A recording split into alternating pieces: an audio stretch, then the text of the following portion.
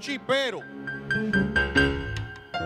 En Puerto Plata, Santiago, La Vega y el Gran Santo Domingo se realizaron 110 allanamientos ayer, en los cuales se encontraron más de 19 millones de pesos, Madre mío, sí lo vi. 400 mil dólares, Sí lo vi, Julio. vehículos de alta gama, 30 en total, así como también una gran cantidad de armas de fuego de alto calibre. Oh, mi Dios. Eso es muchín. Eso es Esto muchín. viene a cuento porque supuestamente había una organización dedicada a los ciberdelitos financieros, así como también para la extorsión sexual. Sextortion le llaman. En ese sentido, hasta el presidente Biden se pronunció. Escuchen esto, que esto es serio.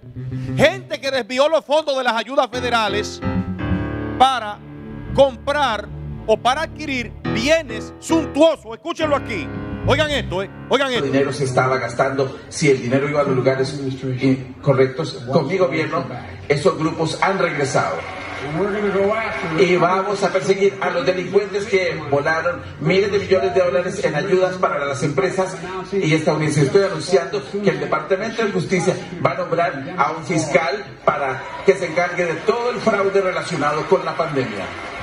Oigan bien, fondos federales dedicados a paliar la pandemia fueron destinados con otros fines, van. Y aquí, en República Dominicana, conjuntamente con el FBI, conjuntamente con la Procuraduría, estaban agentes del FBI. Que la cosa pica y se extiende porque me dicen que también puede caer en la música urbana.